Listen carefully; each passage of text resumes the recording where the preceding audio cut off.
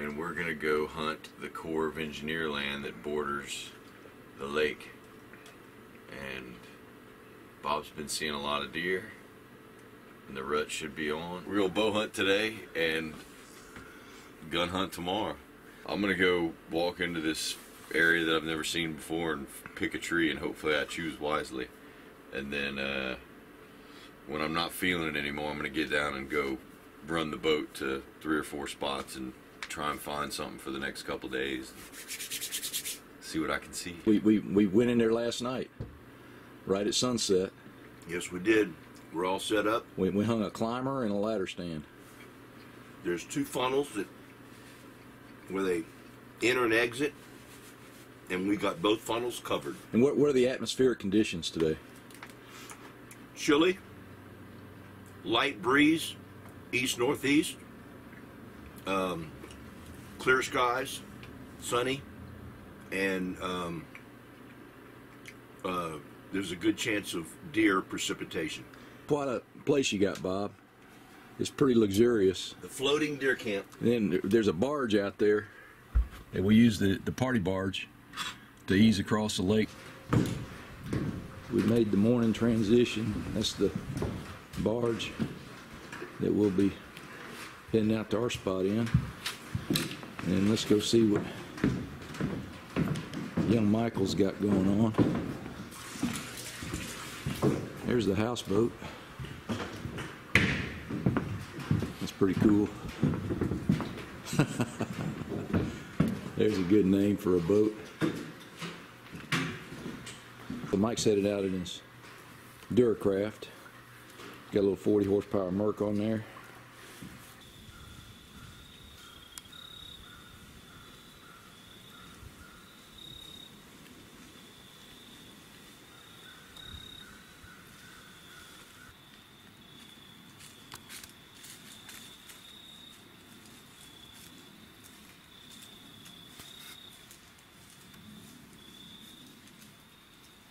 Yeah. Hey, how's that uh, tripod of yours doing on level ground? Is each leg adjustable? I don't think so. A bunch of deer came in like right at dark, and they were right behind me, and they kind of smelled me, but they couldn't quite, you know, get enough to, to spook. And uh, so I finally got turned around where I could get an eyeball on one of them, and I put it on her and shot, and I hit a branch or something, and uh, she jumped off, but stopped and turned around and looked at me, and I was able to get a pretty solid neck shot on her. Your boat there. Yeah, I loaded up in the boat, and I drove out here and way back in this shallow water area.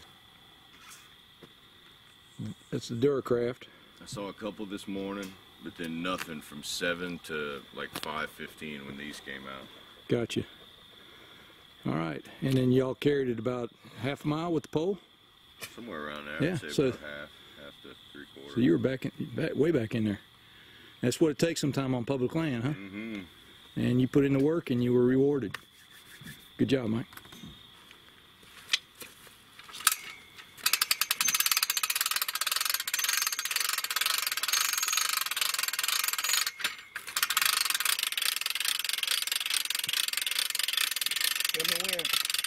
That's good. We'll take the tripod down, take the ice chest in, get some ice thrown on it, and it's all good, right, Mike? All good. Anything to say in closing? God is good. God is good. Amen. Th- So Bob shot a deer this evening, and uh, he's gonna line me out. We'll see if we can locate where he was when he shot him.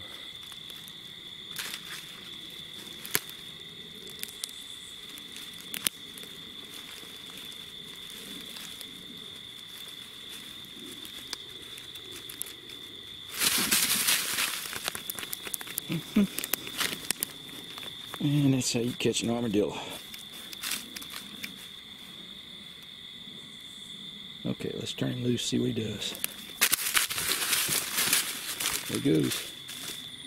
In the night, in the woods, no blood, but he found him. I don't have a clue what he is. I think Bob got the big guy. Bob's seen a big buck run through here. And uh, thing's been making some pretty good scrapes. He's hooting. Good scrapes and rubs. Bob's been on him now for two weeks. He's been hunting him back in this spot. I saw him the other day. That's him. That's him. he stuck his head out one time too many. Bob, you're right. That's an old wound. Yeah. Probably opening day. That could that could be a bow. Could be. It's hard to say. Could be. What tough animals. Yeah. There's another nighttime skinning job on the portable rack. Bob, you got that for 79 bucks? Yeah. The Not a Care houseboat. There's our four wheeler, the equivalent of a four wheeler that ran us around and got the deer. That's our ATV. our ATV. And uh, there's the $79 tripod that we butchered three deer on. That thing was worth its weight in gold.